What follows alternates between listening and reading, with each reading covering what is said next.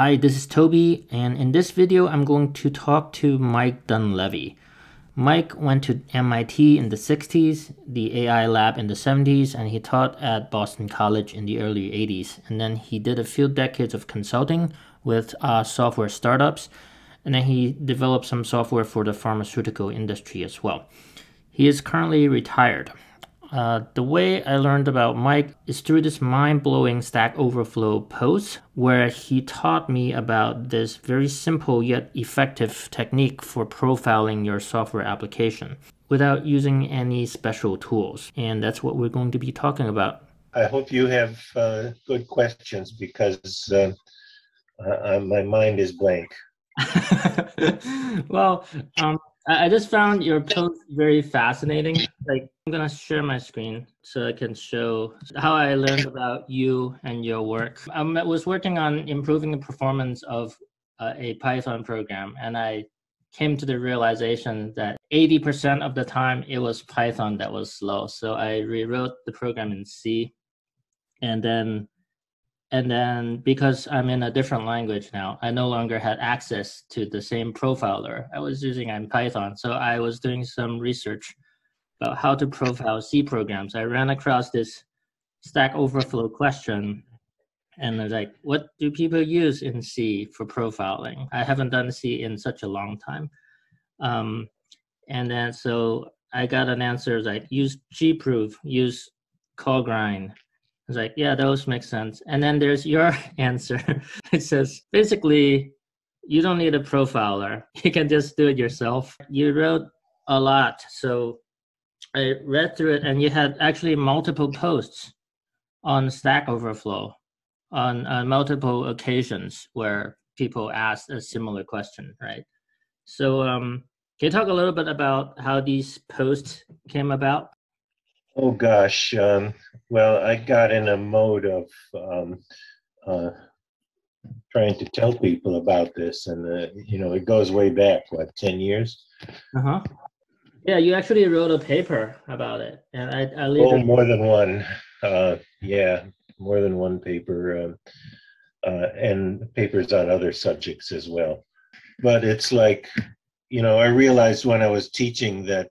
Um, um, students basically believe they're professors, which is natural. Mm-hmm. Um, but the professors don't know this. and so there we are, you know, and there's all this, there's all this uh, uh, history of gprof and everything. If you look into the history of gprof, it was never really intended for what uh, people think it's good for. And including what professors think is good for. So, so there yeah. you go. One thing about your method that I would say, there's very little to it. Like there's very little to understand. It's not like there's multiple things to unpack. Uh, it's very easy to understand. Uh, when you actually do it, it's quite easy to do, even though it might be slightly tedious. It's it's so simple that I almost feel like I should already know this.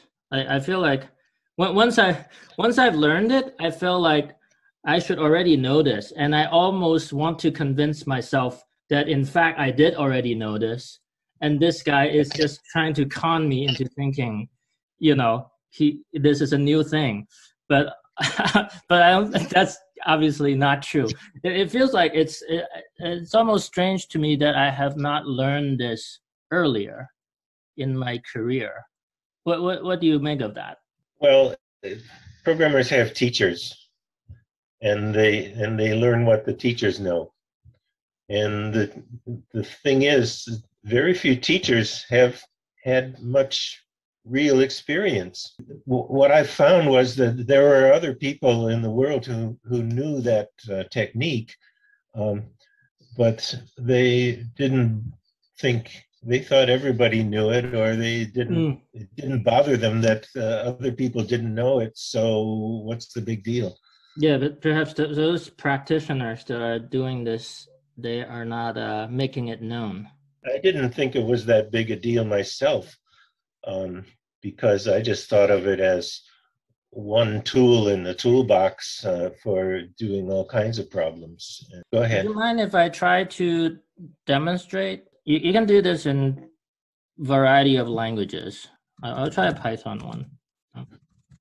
Okay, so this is a Python program. It's running a long job. If I just kill it with Control C, it prints a call stack, uh, or, or, the stack trace or the back trace. Uh, sure. Uh, various different terminologies for the same thing. So this shows me basically exactly what point in the algorithm the program was, what line of code it was, and it, within that line of code, within which function call it was, and the whole chain of function calls um, that's on the stack at that point. So, um, question: Which is which is the innermost and which is the outermost? The bottom is the innermost, and the okay. top is the outermost. Uh, this is the main function, which is the outermost. Oh yeah, yeah, yeah, yeah. One one one reason I thought your method is so uh, so obvious retrospectively is that with a lot of programming languages, Python is one of them. I I automatically get this stack trace when the program is interrupted for any reason. But basically, your technique is like you do this once to capture a stack trace, and then you would you would like I I put it in like a text file, just a normal text file, and then I'll say, hey, this was sample one, and then I do this again, and then you you the the thing is when you you when you hit the interrupt the control C, that's happening at a random time. The program is just tight tight looping, and yeah. then and then so when you when you interrupt it, like it could be at any moment in time. It's completely random. It's right. completely by chance where the execution happens to be at that point in time. Yeah. So thus a random sampling method. Uh, so the fact that the last time I interrupted it, it was at this parsing function and it was calling this eval. Eval is like a Python core library. It, it evals a Python expression actually. And then yeah. this time I got the exact same thing. Yeah. Um, that's by chance, but also not so much by chance. well, that um, you can conclude from that that it's spending probably almost all of its time doing that. Yeah, uh, the, the parsing appears to be slow, which is what I also found uh, using other methods. So this is totally consistent with what I know. Uh, now the third sample, it's actually doing a database insertion. Uh-huh. So so maybe another part of the program that's slow is when it has to do some database work. Um, and then uh, this is a different place as well. This is this is just. Oh, okay. So two out of four times it was doing that uh, oh, parsing. Yep, two out of four times it was doing a parsing, and then uh, and then one time was database, and then another time this is get type by value um, I think get type by value, just a couple of if statements and maybe a dictionary lookup or something like that. And then, and then another another thing for parsing. So the parsing is definitely looking like it's one of the culprits, the parsing. Um, hey there, uh, this is Toby interjecting from the future. Uh, because we didn't go through an end-to-end process of using Mike's method in the video, I kind of want to show you what the end result might look like. This is an actual report uh, that I handmade uh, using a simple text file. Uh, I did this on the C version of my Recreate program. First, I took 20 stack traces as we shown in the video um, and uh, each one I just pasted into this text file and you can see there's 20 of them. After I'd done that, I went through each one and then categorized them, usually by the line of code that is the deepest one in the stack trace that is still inside my code, not in the library code. So in this one, for example, is recreate 1121. uh, which happen quite often actually. And once I find that line of code, I actually paste the source code here as well so that I can see what that line of code is. And after I sort of categorize them and tally the numbers, I found that actually 14 out of 20 of my samples, the code was actually spending within this line. The database driver is committing a transaction. The remaining 30%, it was spent in this process event function, which then I further broke down into these four distinct lines. But two of these distinct lines are also code inside the database driver. Thus, if I add these two together with these 14, I can conclude that about 80% of the time the program was spending inside the database driver. Uh, that's what I want to say now. I'll let you get back to the interview. One of the things that you said in in your post and in your paper is that this method uh, when compared to a typical profiler which actually I'll, I'll, try to run a typical profiler for python cprofile oh except that. I'm gonna have to oh ah okay that's good enough. I interrupted it and it did it. Because yeah, i didn't want to have to wait too long. So a typical profiler would give you output like this. um, and, and you can and you can sort tell it to sort that this table of data based on one of the statistics like so you can sort it either by cumulative time or total time whereas cumulative time would be the amount of time it took to uh, execute this entire function whereas the total time would be the amount of time it took to execute this function minus the amount of time its child function calls took. So it, would the total time would be more like a representation of how much time you know was spent just inside the function itself, not its child calls. Um, you use one or the other depending on sort of what you're trying to do. So let's let's let's do say do cumulative time first.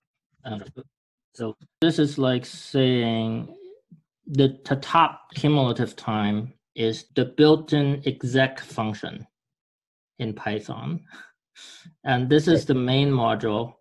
You'd huh? be surprised. You'd be surprised if that didn't accumulate uh, count for all the time. Yeah, yeah. It, it, it's just like Python doing everything and then this is my main function. Yeah, that it should take up all the time. And then the parse is is up there. So uh, that that's we kind of already know that the parsing is up there, and then we have processing commands is also kind of up there. Um, with with this one, it there's a lot of statistics and and it kind of flattens it out and then sorts it in a table. Um, whereas with this one where we took the samples by hand, what I find myself doing is um, is I after I take these samples, I go back and look at each stack trace and I categorize it in a way that makes sense for me. Um, because I, I wrote the code. I have a good understanding of what the code is trying to do. So I, I'm looking at this code and I, I, I look at the entire stack trace and I like, well, this is parsing, right? I, I will just very automatically lump it into a part that's meaningful to me, which is the, that's the parsing part. So I probably just categorize the point is that you're getting line number information out of this, whereas the you, you tend not to get line number information out of uh, profilers. I mean, That's, some do, and yeah. and the other thing you're getting is is um, you're getting it on wall clock time, which means that you can tell when it's doing um, input or output. Whereas with uh, most profilers, just do CPU time. So uh, it could be spending nine tenths of its time reading, and you would never know it. Oh, I see what you're saying. I, I think if it were doing I/O time, it would probably count towards the total time for the function. Well, that's one of the things you need to understand about any profiler is does it does it work on on wall clock time or on CPU time. Mm. Many of them assume that, well, IO time is stuff that you can't do anything about, so why bother profiling it? The thing is, you might be spending nearly all of your time doing IO and the profiler would never see it. If you got a big program, you know, it could be doing IO that doesn't really serve any purpose. And you'd like to know that. Mm-hmm. Well, one problem that I kind of ran into when I was using this profiler in Python, it's all the functions in my program.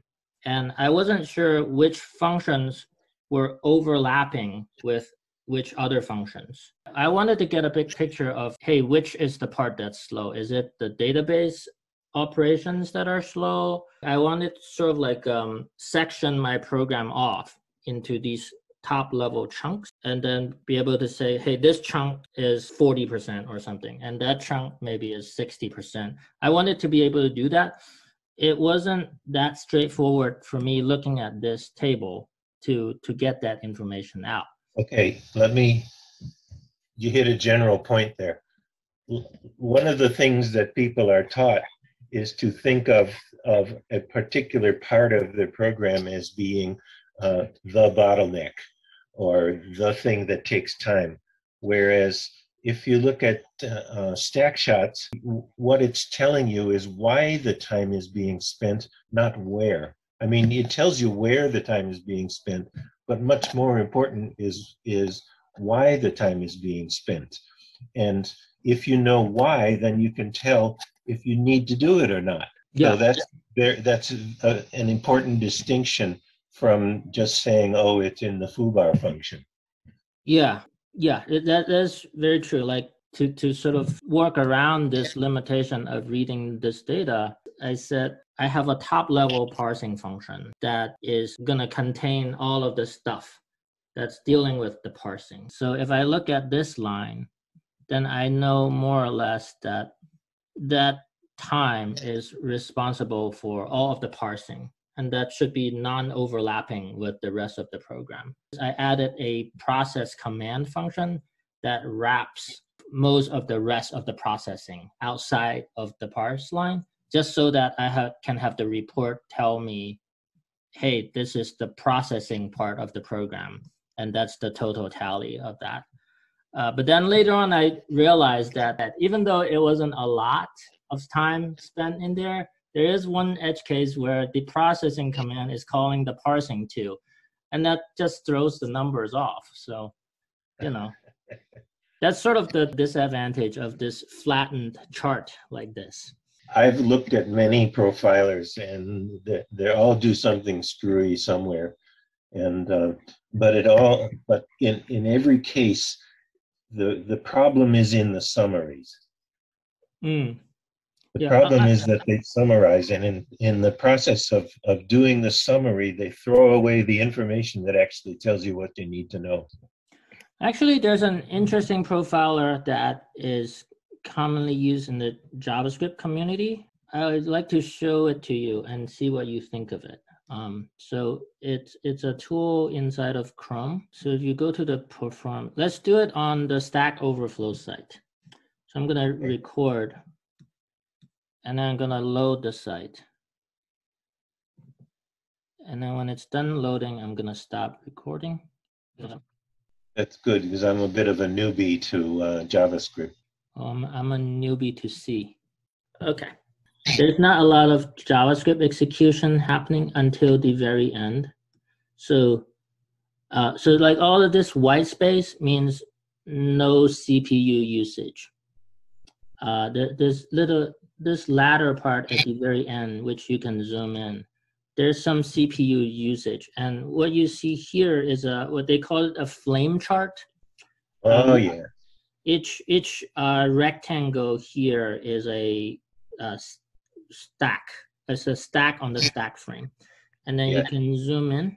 Uh, you, I think you can like pinch, pinch to zoom. Like these very very thin lines, they're just very thin rectangles, and you can actually zoom in so much that Yeah. you can see the function name you can If think you of it. want to know, I'll tell you what's wrong with flame graphs. Okay. Yeah. Okay.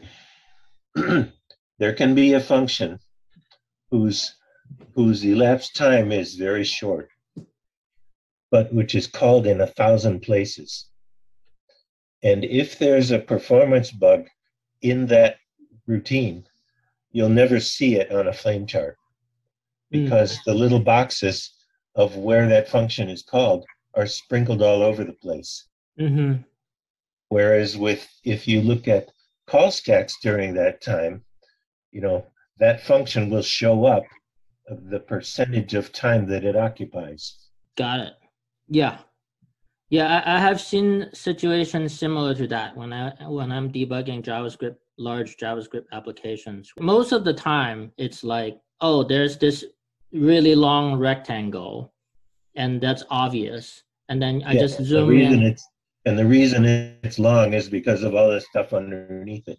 Yep, there's all the stuff underneath it. But once in a while, I have a situation where there's a lot of asynchronous events getting put on the queue to be executed later.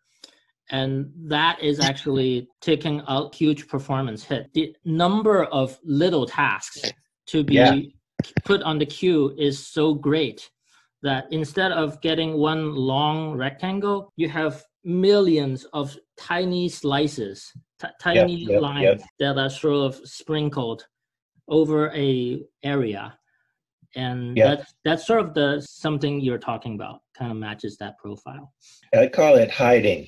Um, the, the performance problems have all kinds of ways to hide from you, and you can you can think they're in a flame graph. They're hiding from you. There are all kinds of you know hot paths they can hide from you. when I uh, when I share your technique with my wife, uh, one one thing she said was that, well, isn't that kind of tedious to do? Like you, you probably don't want to do this by hand if a large part of your job has this kind of work in it. What what what do you think I about? have a standard answer to that, Yeah. which is while you're trying to figure out how to work the profiler and what the limitations of the profiler are, you can already finish the job with with the debugger. And and part of the the reason for saying it, it would be tedious is thinking you need lots of samples. You don't. hmm How, how many samples do you normally do? 10 or 20. Ton of ton. Yeah, that's you, you wrote that in your post, and that I follow that advice. So I did, I did ten, and then I thought, oh, I can do some more. I did twenty. The thing is, the thing is, if if you've got a bug that's worth fixing, it takes enough time that you'll see it in a small number of samples. Mm-hmm. Mm-hmm. Yeah, yeah, yeah. I, I think that the way you laid it out in your paper is really instructive. You, you said like if there's a problem, but let's say it's a you later on said it's maybe we should call it an opportunity. But you, in either in either way, you can think of it as well. There's a section of of your program that's taking some percentage of time. That percentage is related to how probable it is that you're going to be stopped inside oh, yeah. that section of the code. You you not only got to know what what percentage of time it takes, but whether it's necessary. Yes, and, and and that's the context the programmer had. And, the, and only the programmer can tell if it's necessary. Like if it spends a lot of time, say, writing a log file and then nobody reads it, you'd say, well, why bother? I mean, I knew from simulating clinical trials that they have such a they have a thing called they call it alpha and beta okay? But what that is is the probability of getting a false positive versus the probability of getting a false negative. A false positive is if you say the drug works when it doesn't. A mm-hmm. false negative is if the drug does work but your trial doesn't show it and the the thing is when you're doing performance tuning a false positive is where you identify a problem that's not really a problem Mhm. a false negative is where there is a problem there and you don't see it and Right. that that is the remarkable thing you can have one you can have one bug that's taking half of the time and you can have another bug that's taking a quarter of the time, and you can have another bug that's taking one eighth of the time. And if you fix all three of those, if you find them, you're eight times faster. But if you miss any one, you're nowhere near eight times faster. And uh, if any one of those hides from you, produ- produ- producing a false negative, you're not going to get it. And also, if you get the one that's one eighth of the time, that's not nearly as good as if you get the one that's half of the time. Yeah, exactly. If you if you get the one eighth of the time, but you don't get the one half or the one quarter of the time, your speed up. You say, "Yippee! I gained fifteen percent." Whoa, who cares? Yep. So that's that's the problem with profilers is is that um, real problems hide from them. They give you false negatives.